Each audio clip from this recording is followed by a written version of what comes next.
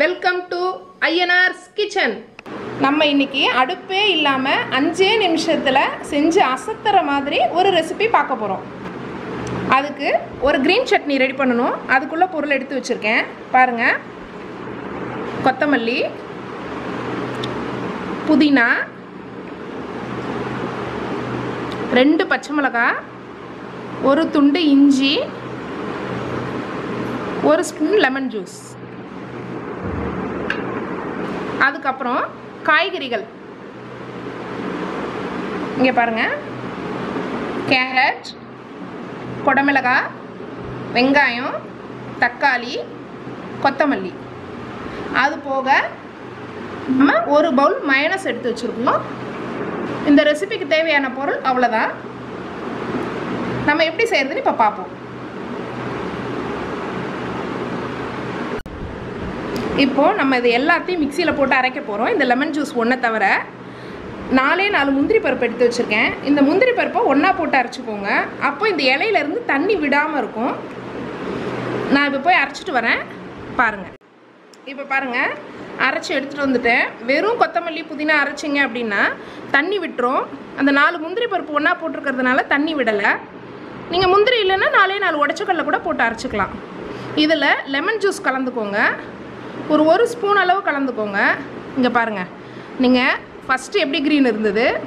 இப்போது அந்த கொத்தமல்லியை கலந்தவுடனே அந்த க்ரீன் கலரே மாறி நல்லா க்ரீன் கலராக வந்துடும் சட்னி.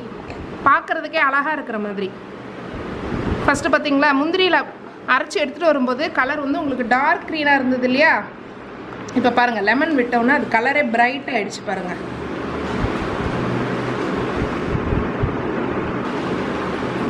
இப்போ நம்ம வெஜிடபிள்ஸ்லாம் எப்படி மிக்ஸ் பண்ணுறதுன்னு காமிக்கிறேன். பார்ப்போம். இப்போ கேரட்டு குடமிளகாய் வெங்காயம் தக்காளி கொத்தமல்லி எல்லாமே இதில் போட்டுக்கிறோம்.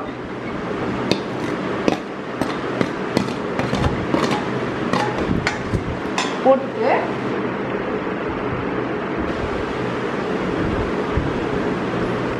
அதில் அரை ஸ்பூன் அளவுக்கு மிளகுத்தூள் ஒரு அரை ஸ்பூன் அளவுக்கு உப்பு. இது ரெண்டும் போட்டுக்கோங்க டேஸ்ட்டுக்கு டேஸ்ட் உங்களுக்கு எவ்வளோ உப்பு தேவையோ அந்த அளவு போட்டுக்கோங்க. லைட்டாக வேணால் லைட்டாக நல்லா ஸ்ட்ராங்காக வேணும்னா நல்லா போட்டாவே போட்டுக்கோங்க. ஒரு கப் மைனஸ் காமிச்சிருந்தேன் இல்லையா? அந்த மைனஸை இதில் போட்டுக்கோங்க. போட்டு நல்லா மிக்ஸ் பண்ணிக்கோங்க. இங்கே பாருங்கள் நல்லா கலந்துட்டேன். இப்போது இந்த க்ரீன் சட்னியில் உப்பு புளிப்பு காரம் எல்லாம் எப்படி இருக்குதுன்னு நீங்கள் டேஸ்ட் பண்ணிக்கோங்க. நல்லா சுள்ளுன்னு இருக்கும் உப்பு புளிப்பு காரம் எல்லாமே. இங்கே பாருங்கள் பன் எடுத்து வச்சுருக்கேன். அது ரெண்டாக கட் பண்ணி வச்சுருக்கேன். இதில் இந்த கொத்தமல்லி சட்னி இருக்குது இல்லையா அதை எடுத்து கொஞ்சம் லைட்டாக ஸ்ப்ரெட் பண்ணி விட்டுக்கோங்க ரெண்டு பக்கத்துக்குமே.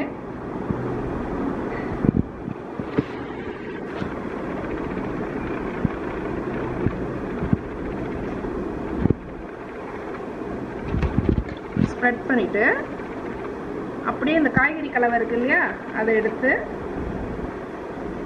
இதில் அப்படியே வச்சிட வேண்டியது தான் இதில் நீங்கள் முளைக்கட்டின பயிர் ஸ்ப்ரவுட்ஸ் கூட நீங்கள் கலந்துக்கலாம். ரொம்ப ஹெல்த்தியாக இருக்கும். டேஸ்டியாகவும் இருக்கும். இங்கே பாருங்கள் அதே மாதிரி குழந்தைங்களுக்கு வேணும்னா நீங்கள் ஒரு பக்கத்துக்கு அந்த க்ரீன் சட்னினா ஒரு பக்கத்துக்கு டொமேட்டோ கெச்சப் டொமேட்டோ சாஸ் எது வேணும்னாலும் நீங்கள் கலந்துக்கலாம். அவ்வளோதான் பாருங்க.